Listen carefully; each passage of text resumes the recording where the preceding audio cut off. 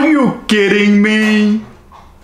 That's what Seinfeld would say. But seriously, feed milk to your plants? This is probably the worst thing I've seen on the internet related to gardening. This is some really bad advice. And you know what's worst? I'm reading comments under these videos and people are actually trying this. You know, it won't be long before somebody makes a video of themselves holding a glass of milk in front of their plants and the plant actually drinks it.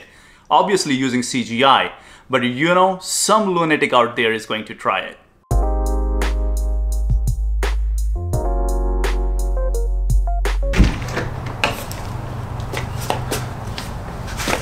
Oh, you're a bit shy?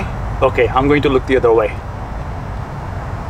Why aren't you drinking it? I saw a video on the internet where a guy holds a glass of milk to his plants and the plants drink it. What is wrong with you?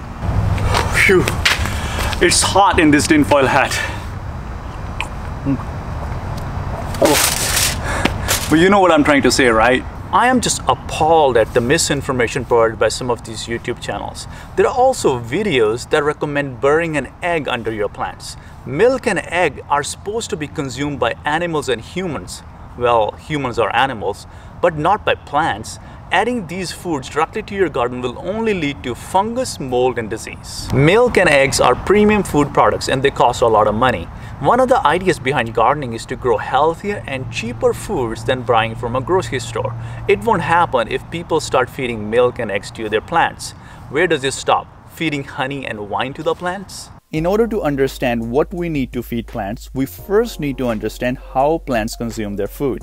Besides adequate space and air containing carbon dioxide and oxygen, plants need three more things to grow sunlight for photosynthesis, water for hydration, and minerals for nutrition. The three main minerals plants need for development is NPK, which stands for nitrogen, phosphorus, and potassium. When we hear about potassium, we think of a banana. What if we were to directly feed banana peels to the plants by burying it underground? Will it help?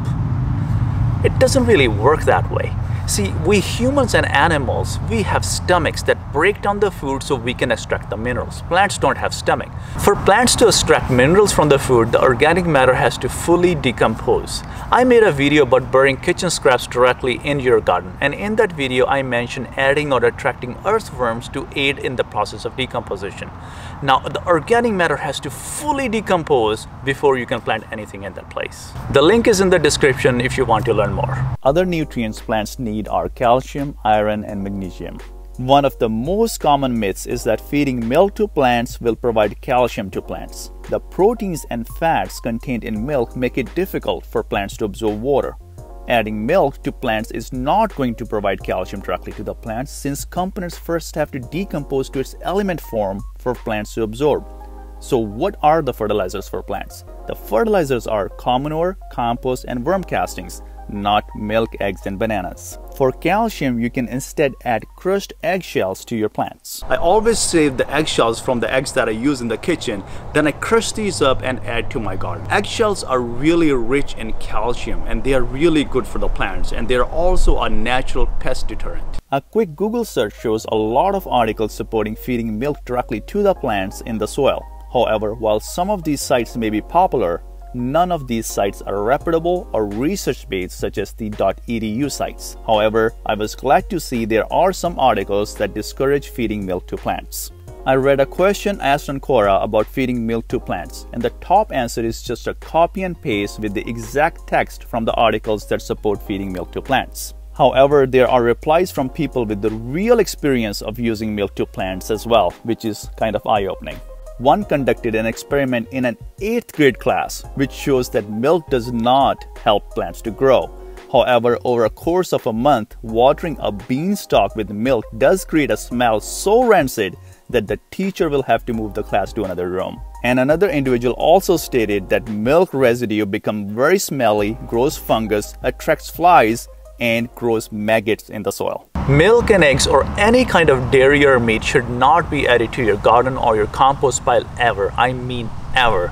It will make your garden or your compost pile rancid and it will smell really bad. Dairy and meat take a long time to decompose and they attract pests. Meat and dairy are not suitable for gardening or composting. There are also videos on YouTube that recommend placing nails beside your plants. And I made a video about how placing nails beside your plants does absolutely nothing. The link is in the description if you want to learn more. I want to provide the most accurate information to my viewers. I hope you found this video informative and maybe a bit humorous. If you did, hit the subscribe button and I'll see you in another video.